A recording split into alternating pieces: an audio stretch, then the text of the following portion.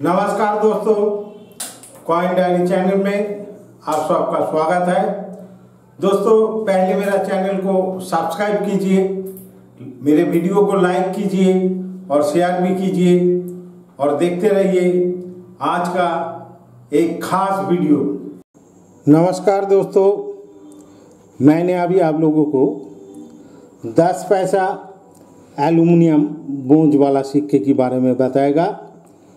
दोस्तों 1968 से लेकर 1971 तक ये सिक्के मार्केट में आया था।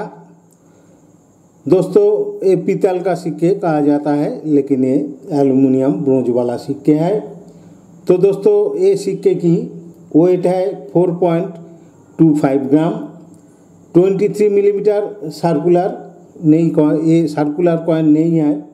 ये स्कैलोप कॉइन है एट किनारा है इसका, आप लोग देख सकते हैं। आठ इसका जो किनारा है, ये वाला ए सिक्के तो दोस्तों, पहले ए सिक्के मार्केट में आया था 1968 में। 68 वाला सिक्के मेरा पास नहीं है। मैं 69 वाला सिक्के अभी दिखा रहा हूँ। तो दोस्तों इंडिया का तीनों मिनट से ये दस पैसा वाला एल्युमिनियम ब्रोंज का ये सिक्के रिलीज़ हुआ था।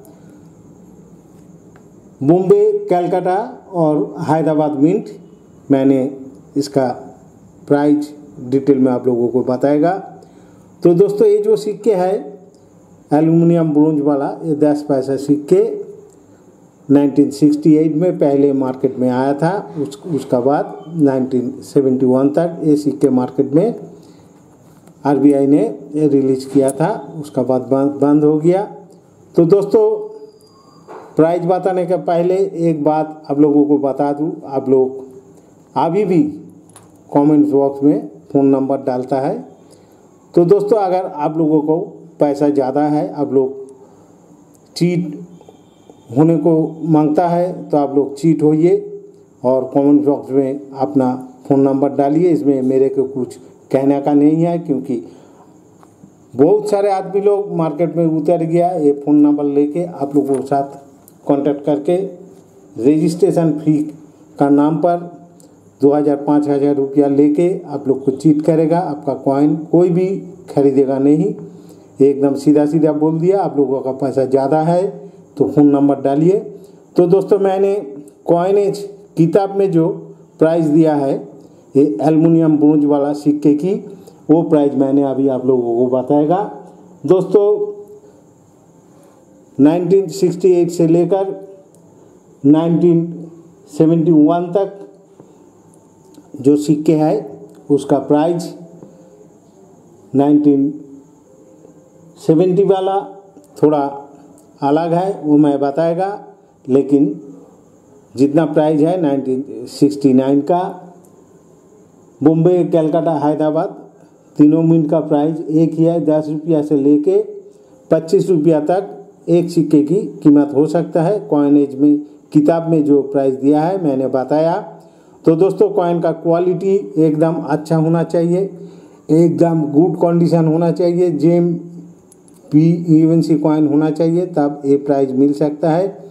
लेकिन डीलर लोग आपको इतना पैसा दे के खरीदेगा नहीं, क्योंकि वो लोग भी ये सिक्के खरीद के नाफा उठाएगा, इसीलिए 1968 वाला सिक्के की कीमत बता दिया और 1969 का जो प्राइस है, मैंने वो भी बताने वाला हूँ, मुंबई, कलकत्ता, हैदराबाद मिंट में। ये सिक्के मिंटेज हुआ था। तो दोस्तों 1969 वाला सिक्के की कीमत दस रुपया से लेके पच्चीस रुपया तक हो सकता है। उसके बाद 1970 का प्राइस मैं बताने वाला हूँ दोस्तों। 1970 का सिक्के से दोनों मिनट से मिंटेज हुआ था, कैलकाटा और बॉम्बे कैलकाटा सिक्के मेरे हाथ में है, आप लोग देखता है। 1970 वाला सिक्के आप लोग देख रहा है।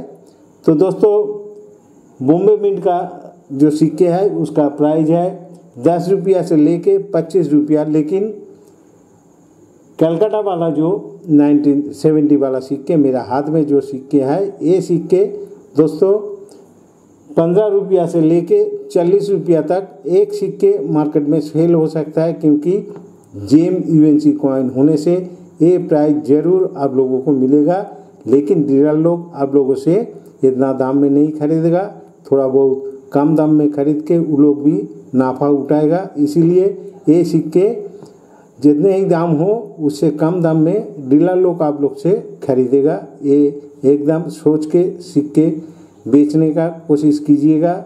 मैं किसी से सिक्के खरीदता नहीं हूँ। मैं ये सीधा बात बता दिया।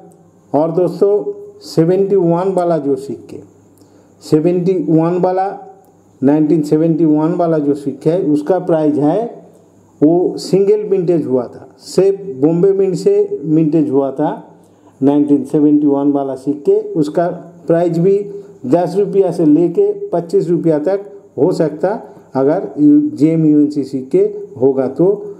तब आप लोगों को ये प्राइज मिलेगा। तो